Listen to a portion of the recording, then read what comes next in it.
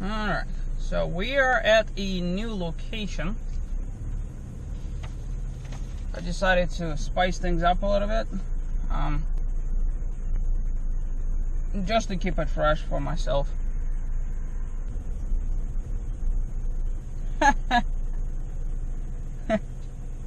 okay. Uh, let me see. If camera is picking this up, I mean, this is very typical. You gotta back all the way in there. Jeepers creepers.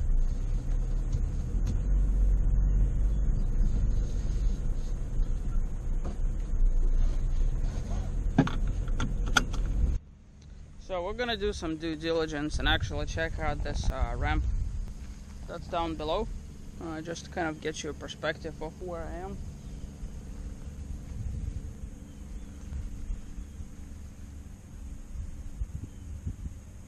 So let's take a closer look at this uh, cogon grass. There it is. Like, see how thick it is? One of the reasons why it's so bad, and it's actually also very, very, oh my gosh, it's so sharp, not even funny. Um, it, just like when you touch it, and I know camera is not picking this up, but it's not sawgrass, it's cogon grass. Um, it has like little barb things on it so it's to be almost impossible for you not to cut yourself on it. So heaven forbid you actually have to walk through it like with your shorts. Uh, forget about that. So uh, let's go check out this ramp.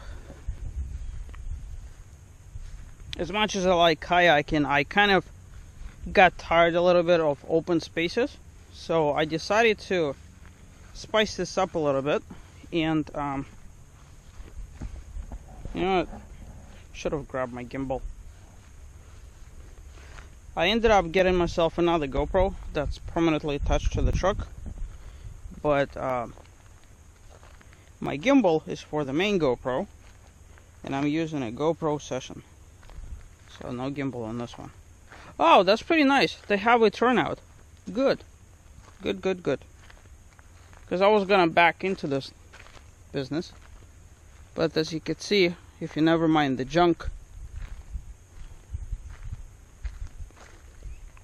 Although um, it's a near darn impossible turn. Because to be well and plus the, no I don't like that. Never mind I'll just back into it. Man look at this shit. I mean glass and tires and just absolutely disgusting. Mind you that this is private property, so this is like paying members that do this stuff.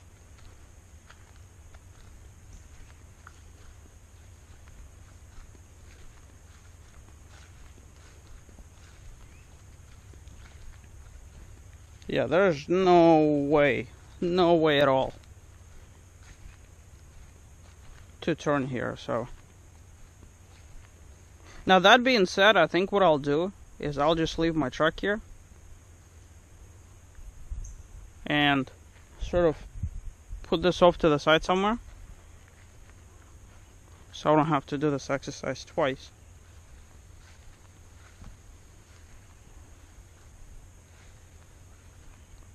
Hmm.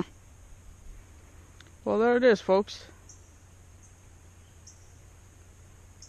Obviously by the watercolor you can see how uh, this is not the most pristine of places. But I could hear birds multiple birds multiple species and the fact that you could actually get through all the little finger things it would just spice things up just a little bit. And the ramp I could see is well the ramp is easy but it gets really deep over there so.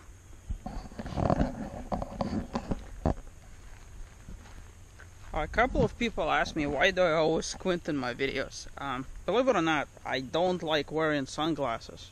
Uh, but this being in Florida, it is very, very sunny. And that's the reason why I squint. Um, every now and then, you know, I wear glasses like so. That way I don't have to frown and squint at the same time. Uh, you know, if you ever see me in video, like one of the reasons why I don't show my face is because I never look happy, but I actually am happy. It's just the fact that when you squint, like here's a good example. I'm uh, going up the ramp, right? And there's a sun in my eyes. With sunglasses, it's no big deal, right? But then you tend to do this, right? And the thing about wearing sunglasses, I actually wear glasses um, at work with some sort of reflective doohickey spray on them to prevent the glare. And so my ears, right about here and there, get tired of wearing glasses, period. That's why I'm not particularly fond of using sunglasses.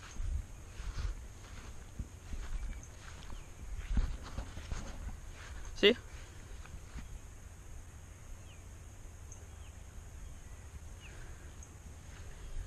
There you go.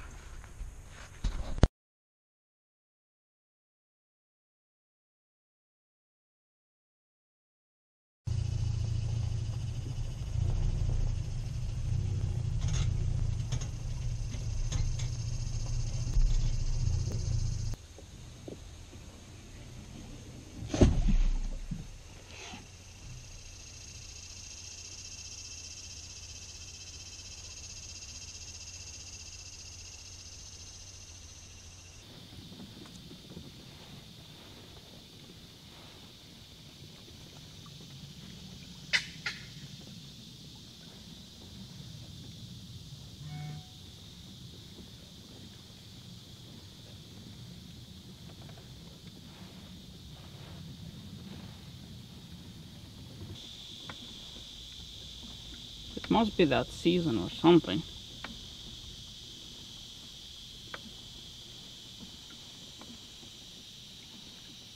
For cicadas, they're everywhere.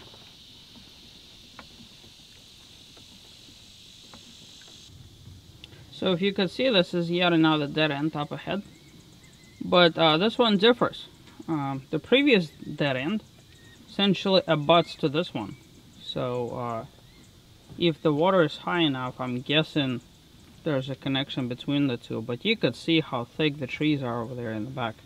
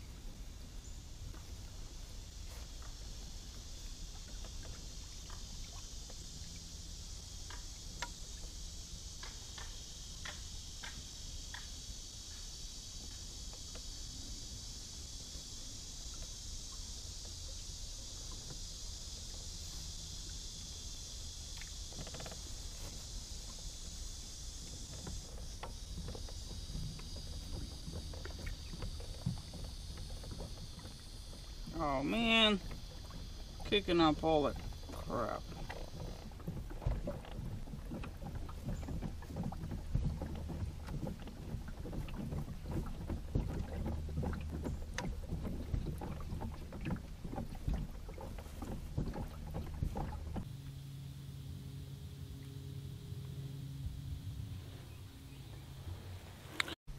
Well, let's just say that some roads should not be taken just because it exists behind me this doesn't look so bad until you get in there and discover that there's about two feet of methane type um, gunk that you kick up.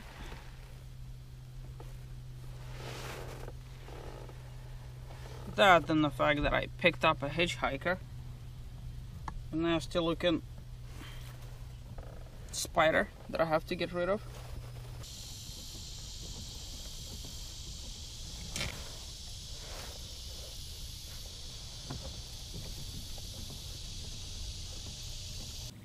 But yeah, I uh, found a shortcut. Uh, there's actually a way to get here the long way, which I'm gonna take out. But uh, found the shortcut, didn't think anything of it. And as uh, things go, found myself in a bit of a pickle. Because uh, all that gunk that you have to go through, it is like, see it right over there? It doesn't look so bad from this angle. Until you get in places like this and you start kicking this up with the pedals and all the horrible nasty smell and muck everywhere. Not a pretty sight.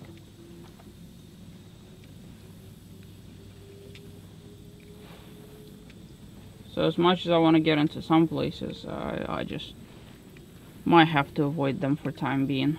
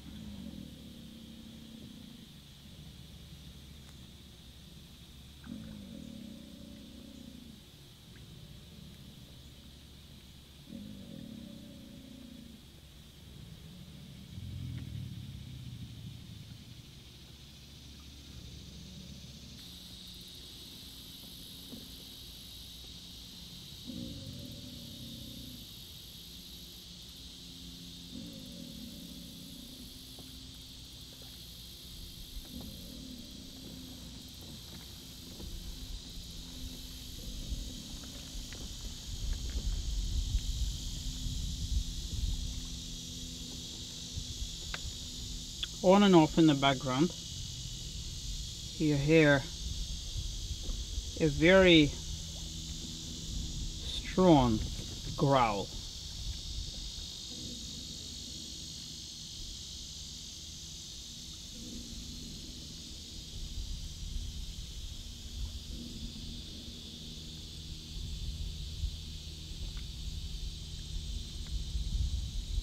And that growl is of an alligator established in its territory. And I am hoping that I don't come across that alligator because he is already pissed off.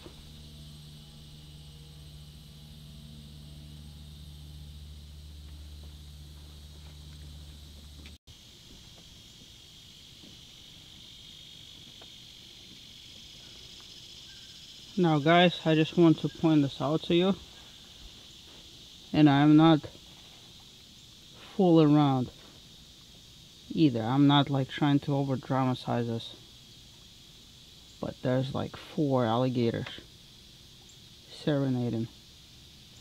One right around this corner up here.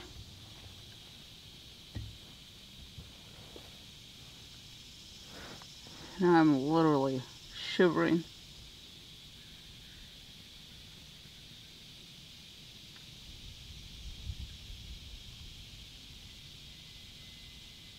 It's not that I'm afraid of the alligators, which I'm not. It's that that when they're serenading like this, they are in a very agitated state of mind.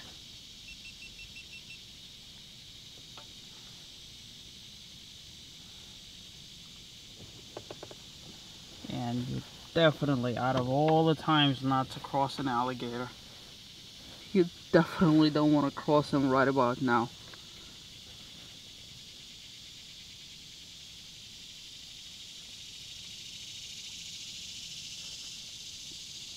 And in case you're wondering, I literally came right from there. Right there. And that's where he is serenading.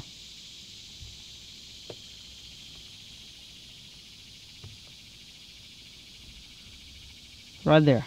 That's where he's at. Now, I don't know if he was up on the bank or something because I did not see him at all. He is somewhere between there and this bank, like on this side. And the other ones there are way off in the distance. But man, oh man, you have just heard several alligators just kind of letting each other know, yo, here I am. And that sound, is bloody bone chilling. I mean, I've heard it on like Animal Planet and things, but never in person. Holy crap. Ooh. Yeah, ooh, ooh, I think this was the, like the first legitimate time I was just terrified.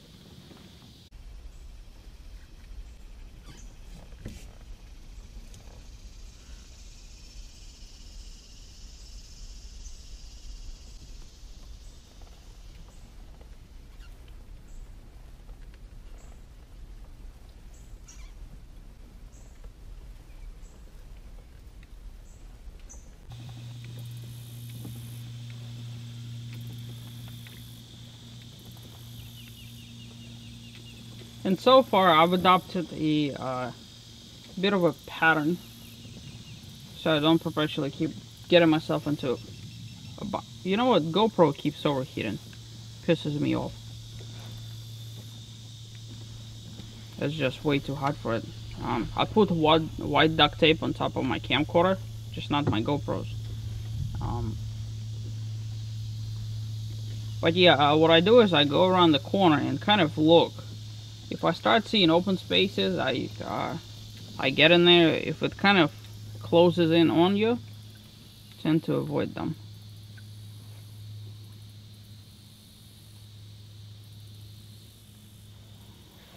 Oh, let me get my GoPro out of there.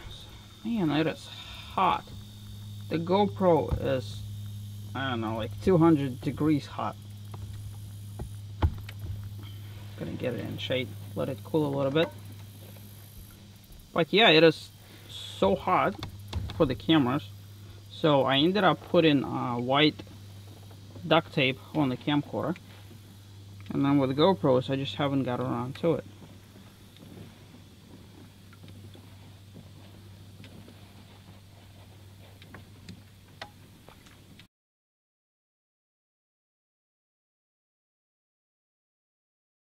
every now and then you come across something that looks absolutely ridiculous but cool as hell at the same time. Take a look at this.